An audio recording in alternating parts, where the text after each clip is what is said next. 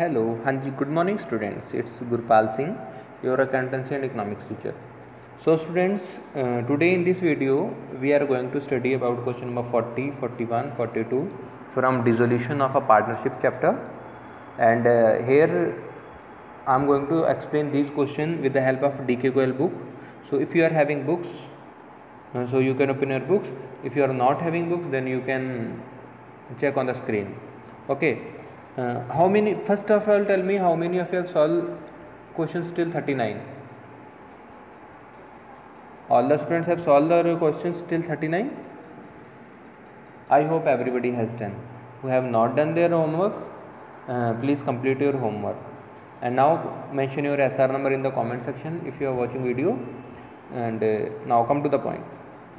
Now see, uh, what is question number 40? See students question number forty here total assets are of twelve lakh बेटा। Total assets की value कितनी है? That is twelve lakh okay students and total liabilities are three lakh how many three lakh now question is saying assets are realise at seventy percent is it clear assets are realise means assets are sold assets को बेच दिया गया। कितने पे? सत्तर percent पे seventy percent so what is the value of seventy percent of twelve lakh you can calculate like this twelve lakh into seventy upon hundred okay so assets are sold for sorry it's remaining 12000 uh, sorry 120 into 7 then the assets of 12 lakh these 12 lakh are sold for 8 lakh 40000 means 12 lakh के assets कितने में बेचे जा रहे हैं 8 लाख चालीस हज़ार में okay after that expense on realization is 10 percent what will be the profit or loss on realization see here Hindi में बोल दूँ अगर मैं प्रॉब्लम ना हो किसी को लाइबिलिटी कितनी दे रखी है? थ्री लैख बेटा। ठीक है? तो जो लाइबिलिटी फॉर्म में होती है that liability you have to pay what if there is any liability in the firm and during the dissolution of firm students firm have to pay liability तो how much liability is there three lakh okay and expense is ten thousand तो total amount paid by firm that will be three lakh ten thousand how much three lakh ten thousand and after that now question is saying what will be the profit on realisation first of all how money much we are getting from sale at forty after that on realisation we are paying three lakh ten thousand three lakh ten thousand तो मोटा मोटा amount जोड़ा जाए तो five lakh thirty thousand you are earning ठीक है, आपको receive हो रहा है। बट बाकी भी तो फॉर्मेट होता है ना we have to transfer liability to debit side and asset to credit side okay so by this way we have to calculate all the things so first of all see the solution we have to prepare a realisation account जैसे आपको पता है you know very well first of all assets को debit side transfer किया जाता है realisation account के। Still, if you have not prepared format first of all prepare format please. Format will be particular amount particular amount. You know very well before starting realization first of all we have to transfer assets all the asset to the debit side. So here the value of all the assets is 12 lakh. So in the debit side i have transferred assets like two assets 12 lakh. The value of liability is 3 lakh. So here I have transferred in the credit side by liabilities 3 lakh. Note down both the things please. Now next you can see uh, in the uh, just now in the question we have studied assets are realized at 70 percent and we have calculated already 70 percent of 12 lakh become 8 lakh 40 thousand. Is it clear?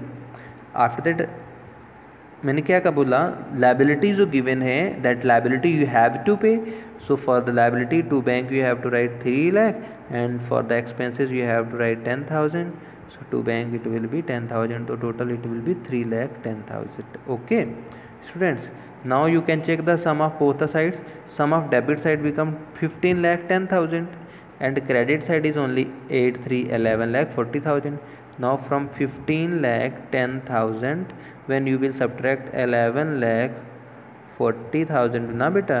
Then you will get 3 lakh 70000 students right? How much you will get? You will get 3 lakh 70000 beta. So this will be the loss on realization. Is it clear?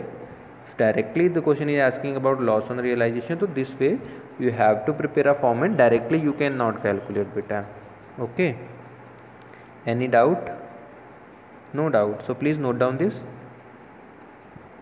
after solving this double close both the sides by putting double line okay below 1510 now come to the next question that is question number 41 students and in this question a firm's balance sheet is given and in this total debtors were appear for 5 lakh कितने के हैं That were of five lakh and provision is created at ten thousand तो इतनी adjustment का क्या होगा?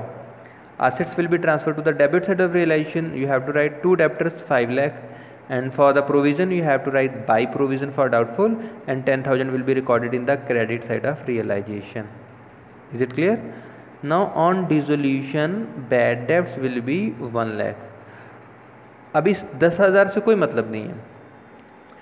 Five lakh का हमारा डेटर्स था and one lakh will be bad debts so remaining will be four lakh okay and again it is saying remaining debtors are realise ten percent discount ten percent discount so here you can check there is the value of remaining debtors will be four lakh कुछ बच्चों को five four lakh समझ में नहीं रहा।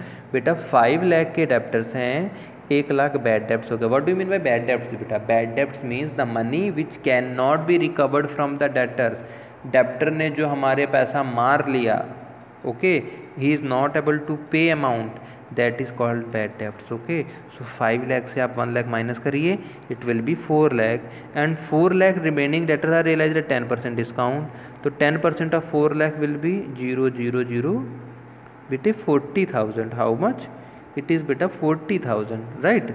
So whenever you will subtract 40000 so from 4 lakh we will subtract 40000 then you will get 3 lakh 60000 beta. How much? 3 lakh 60000 so the uh, how much amount you realized from debtors that will be beta 360 is it clear? Now see the solution. What is the solution here? Whatever i have explained the same thing is given here. Debtors were of 5 lakh. There was bad debts of 1 lakh. You subtract it. So here will be balance will be 4 lakh beta. How much? 4 lakh 10 percent. Provision was there. Uh, discount was there. So 40000 we will subtract. The actual amount realized from debtors that will be how much? 3 lakh 60000 happy like my videos now is it clear na note down please now come to the next question Question number 42. See in this question you have to pass journal entries. What? You have to pass journal entries. There are X and Y are partners. Who are partners? X and Y. They decided to dissolve their firm so that we have to pass journal entry for various assets and external liabilities. Now the first adjustment is X loan was appearing on the liability side of balance sheet at 40,000. X loan, partner's loan. He accepted an unrecorded asset for 60,000 in full settlement of his account. Partner loan is not transferred, will not be transferred to the realization account, but he is uh, accepting unrecorded assets. Then what journal entry will be? journal entry will be x loan account debit to realization. Okay. Why this entry comes? Because x loan was settled by giving him unrecorded assets of costing 40000 okay? So, that is why this loan is transferred to realization account. बात समझ में आ गई? X का loan था and he was taking unrecorded assets also ठीक है? Unrecorded assets की वैल्यू कितनी है? That was of sixty thousand but you can see here in the screen क्या लिखा गया है? Sixty thousand in full settlement of his account भाई जितना उसके पास लोन है, उतने में ही वो सेटल हो गया। असेट्स की आपकी कार की वैल्यू पाँच लाख रुपए है, पर कस्टमर ने चार लाख में खरीदी। तो what value you will record बेटा? यू विल रिकॉर्ड मात्र four lakh okay only four lakh that is by here X loan was realized by realization. Realization is credited. Why? Because x was accepted that assets, okay?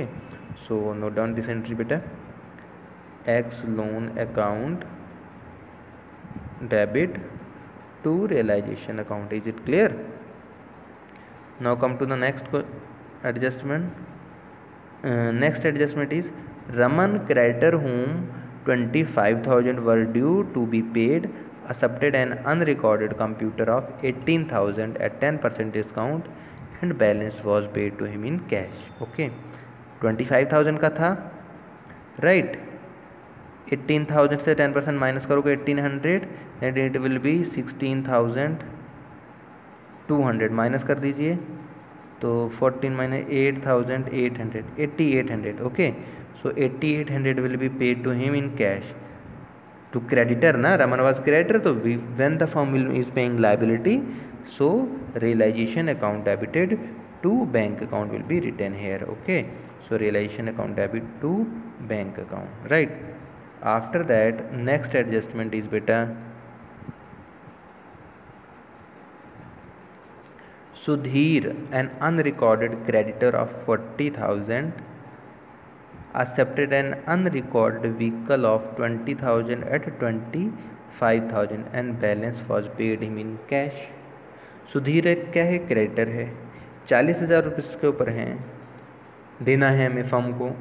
And he accepted मतलब he purchase from the firm a vehicle of बीस हज़ार at twenty five here देखिए sixty thousand का चालीस हज़ार रुपये में accept हो रहा था। पर यहाँ पे फॉर्म का asset he was purchasing of twenty thousand at twenty five तो एक्चुअल तो हम लोग जो काउंट करेंगे भाई ना, बीस हज़ार की गाड़ी है, मेरी पच्चीस में जा रही है I am getting twenty five thousand ना। So here we have to use twenty five thousand बेटा okay so from forty you will subtract twenty five thousand fifteen thousand was balance so company will pay him fifteen thousand so what will be the journal entry बेटा journal entry will be firm is paying to the creditor so realisation debited to bank you have to write fifteen thousand Y fifteen thousand बेटा forty था twenty five thousand creditor ने vehicle ले लिया बचा पंद्रह हज़ार that is Y fifteen thousand is coming here okay बेटे is it clear now come to the next point that is there was a contingent liability in respect of bill discounted but not matured twenty thousand क्या था?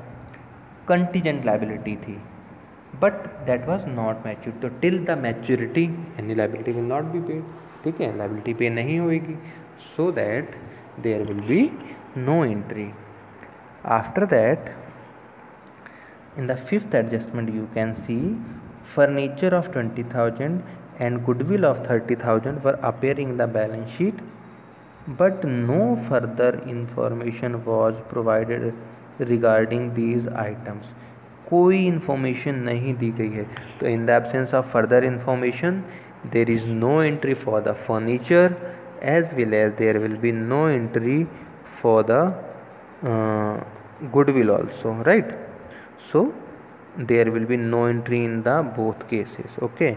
So from here now you can note down all the questions.